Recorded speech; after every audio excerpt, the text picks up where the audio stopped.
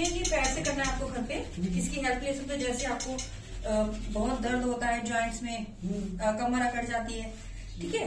ये तो हम हमारी प्रैक्टिस है ना पैर से कर पाते हैं। ना हो तो आप किसी की भी हेल्प लेके ना इस तरह से ये देखिए बहुत अच्छे से रबिंग करनी है पूरी पीठ पे। ये ऊपर तक इससे ब्लड सर्कुलेशन अच्छा हो जाएगा एकदम गर्माहट आती है ना। हाँ और उसी टाइम बिल्कुल उसी टाइम आपकी कमर ठीक हो जाएगी। ये देखिए मेरा हाथ भी बहुत गर्म हो रहा है आपको फील हो रहा है ना? हाँ इसी तरह से ऐसे दूसरी साइड में। बहुत अच्छे से रबिंग करनी है, एकदम बढ़िया। एक जगह पे कम से कम दस बार जैसे यहाँ पे लिया एक दो तीन चार पाँच छह सात आठ नौ दस। फिर धीरे से आगे बढ़ते जाएँगे।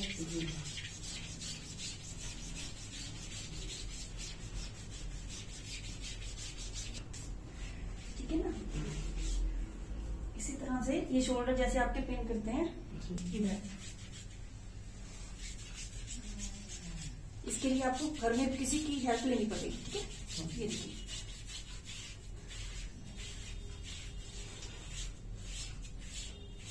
यहाँ से जैसे आपकी टांगों में दर्द रहता है ना? हाँ अगर आप सिर्फ़ यही कर पाओ तब भी ठीक हो जाएगा ये देखिए। स्ट्रेच आ रहा है? घर में कोई है नहीं ये आप खुद भी कर पाओगे वो तरीका भी बता दूँगी मैं आपको ठीक है?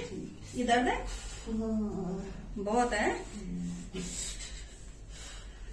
तो बात नहीं हो जाएगा। इसके बाद खुद पंचकर्मा का ट्रीटमेंट बताऊँगी आपको। वो भी घर पे कर, कर पाओगे आप खुद। बस बस। बस बस बस हो गया। ये देखो बिल्कुल अच्छी से रबिंग करनी है आपको।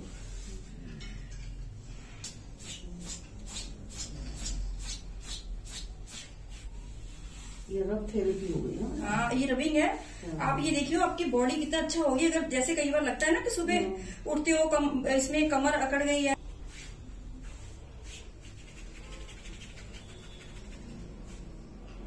ऑर्डर लिया ठीक है? ये आपकी टमनी पे थोड़ा मैंने ऑर्डर लगा दी ठीक है? फिर उसके बाद देखिए अभी तो मैं आपको कर देती हूँ। देखिए इस तरह से ऊपर से लेंगे नीचे की तरफ़ इस तरह से आप रब करते हुए आएँगे इससे क्या होगा? जैसे कि कई बार आँखों पे मल चिपक जाता है है ना? तो अच्छे से जैसे नहीं आती है लैट्रिन तो वो चूट जाएगा अच्छे से और ब्लड सर्कुलेशन अच्छा होगा। ये देखिए और ये चीज़ आप खुद कर सकते हैं। करिए। ये दो हाथ है ये देखिए। हाँ ये देखिए। हाँ ये देखो इस तरह से करो आप। हाँ ये देखो खुद। और ये आप दिन में दो बार तीन बार करो कोई दिक्कत नहीं है। कोई साइड इफ़ेक्ट थोड़ी ना होने वाला अच्छा ही होगा है ना? ये देखो आप डेली करना ही आप बैक पे करिए ये करिए ना इसी तरह से अगर आपको लगे कि घुटने में बहुत दर्द हो रहा है ना ये देखिए उसी टाइम आपको रिलीफ मिलेगा आराम उसी टाइम उसी टाइम से। बिल्कुल और देखो आपको मैं ऐसे कर रही हूँ तब भी आराम मिल रहा होगा ठीक है? देखो इस ये तो तरह करती हूँ। ये देखो, हाँ, बिल्कुल, ये देखो, इस तरह- राम गोपाल उनकी देखती हूँ। बिल्कुल बिल्कुल वो बहुत अच्छा है वो भी। हाँ। ये देखिए उसी टाइम आराम मिलेगा आपको ये देखिए। ठीक है ना? देखो, अनिता जी, आप ये घर पे बना सकते हो, घर पे भी कर सकते हो। ये अनिता जी हैं, इनको हम पोटली बनानी सिखाएँगे अभी। ठीक है? इससे पहले हम आपकी ऑयलिंग करेंगे। ऑयल थेरेपी होगी, उसके बाद हम ये पोटली से पूरा सिकाई करेंगे। इसके लिए ये लिया नमक। आप कम ज़्यादा कर सकते हो, कोई नुकसान है नहीं, ठीक है? और ये हमने लिए मेथे। और ये देखिए, दो चम्मच हम मेथी डाल देंगे इसमें। देखिए, दो चम्मच मेथी डाल दिए। ठीक है? उसके बाद हम ये जीरा डाल देंगे। जीरा डाल दिया। कम ज़्यादा की कोई टेंशन नहीं लेनी कोई नुकसान नहीं है ना इन चीज़ों का ठीक है ना? ये हम पोटली बना रहे हैं। देखो बाज़ार से भी मिल जाती है तो हम जो अपने हाथों से बनाते हैं उसके ज़्यादा रहता है ना? और ये घर पे सारी चीज़ें मिल जाएगी। ये बिल्कुल सौंठ है ये ठीक है? ये सौंठ है। कम ज़्यादा का जैसे मैंने कहा कोई नुकसान नहीं और ये हल्दी है। इसमें से कोई ऐसी चीज़ नहीं है जो आपके पास अवेलेबल नहीं हो ठीक है? और ये जॉइंट्स पेन के लिए जैसे आपको अर्थराइटिस की दिक्कत है जॉइंट्स पेन के लिए बहुत ही अच्छा ट्रीटमेंट है ये। ये खोलो। हाँ। लेकिन है आपके पास? ये अश्वगंधा का चूरन है। ये देखिए ये डाला आपने। एक चम्मच डाल एक चम्मच डाल दिया दो चम्मच डाल दो। ये उस हिसाब से होगा जिस हिसाब से आपका नमक होगा। तो ये आप क्वांटिटी ज़्यादा चाहिए। है? नमक की क्वांटिटी ज़्यादा होगी उसके ऊपर एक एक दो दो चम्मच आप अपने हिसाब से डाल सकते हो। इन चीज़ों को कोई नुकसान नहीं है अगर कम या ज़्यादा भी हो जाएँगे ठीक है? उसके बाद हमें इस तरह से एक कपड़ा लेना है। इसको गर्म करना है। गर्म करके इस कपड़े में डालेंगे। अभी मैं गर्म करके बताऊँगी आपको ठीक है? इस तरह से आप कोई भी तेल ले सकते हैं। अनीता जी, जैसे आप घर पे ये थेरेपी करेंगी, हम ये इसीलिए बना रहे हैं, आपको बता रहे हैं।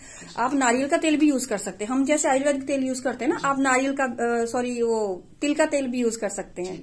ठीक है जी, इस तरह से तेल लगाया इन्होंने। इस तरह से मसाज करेंगे नी की। पूरे ज्वाइंट्स पे करनी है, जैसे अर्थराइटिस की प्रॉब्लम है इनको तो आपको जैसे हो ज्वाइंट्स पेन हो, पूरे ज्वाइंट्स पे इसी तरह से आपको ऑयल लगाना है। इस तरह से ऑयल लगाएँगे। अभी ये नीचे, इधर जॉइंट पे।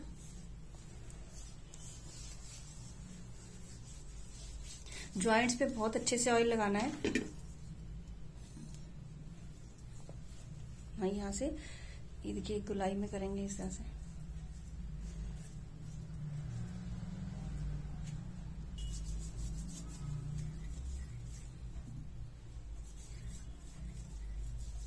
पैर के पूरा तलवे पे।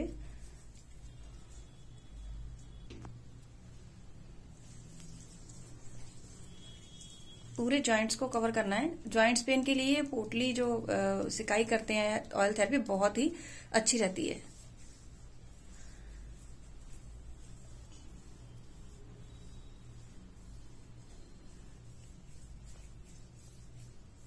आपको दिखाई दे रहा है ना? हाँ। ये देखिए गैस पे रखा है ये सामान। इसको इस तरह से गर्म करेंगे। ठीक है जब ये ब्राउन हो जाएगा ना सारा सामान इस तरह से गर्म कर रहे हैं इसको ब्राउन हो जाएगा तो फिर इसको कपड़े में बाँध के उसकी करेंगे पोटली की सिकाई। देखिए इस तरह से आप पहले जैसे ऑयल लगाया था ना ये देखो पूरे जॉइंट्स पे इस तरह से पोटली की सिकाई करनी है। अगर लगे कि कोई मसाज करने के लिए नहीं है या कहाँ करोगे आपने करी नहीं करी या कुछ भी तो इस तरह से ऑयल ले लिया ना इस तरह से देखो ये पोटली को ऑयल में डिप किया ये देखो ऑयल लग गया? ये देखो अगर आपको लगे कुछ इजी तरीका करना तो ये भी कर सकते हैं ऑयल डिप किया इस तरह से लगाया। इसी तरह से पूरे के पूरे ज्वाइंट्स में करना है आपको ठीक है? ये देखो नीचे इस तरह से रखेंगे। ज़्यादा तो नहीं लग रहा? नहीं नहीं नहीं इसी तरह से पूरे ज्वाइंट पे स्पाइन पे जैसे आपको दर्द होती है पीठ में वहाँ पे भी पूरे जोड़ों पे इसी तरह से पोटली की सिकाई करनी है। थोड़ा आगे देखिए ज्वाइंट पेन वालों के लिए स्टीम बहुत अच्छी है। बड़ी जल्दी आराम आता है। ये आप घर पे भी कर सकते हो। इजी है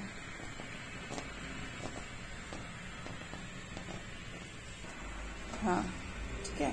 तो ये नीता जी है हमारे पास। इनको अर्थराइटिस की प्रॉब्लम है। जॉइंट्स पेन की है। टेन ईयर से काफ़ी परेशान है ये। तो अनिता जी बताइए अभी आपको ये थेरेपी दी है कैसे लग रहा है? अच्छा लग रहा है पहले से दर्द भी कम लग रही है थोड़ी। जब आए थे काफ़ी परेशान थे ना कल हाँ भी अभी ठीक लग रहा है। हाँ जी ठीक है। Thank you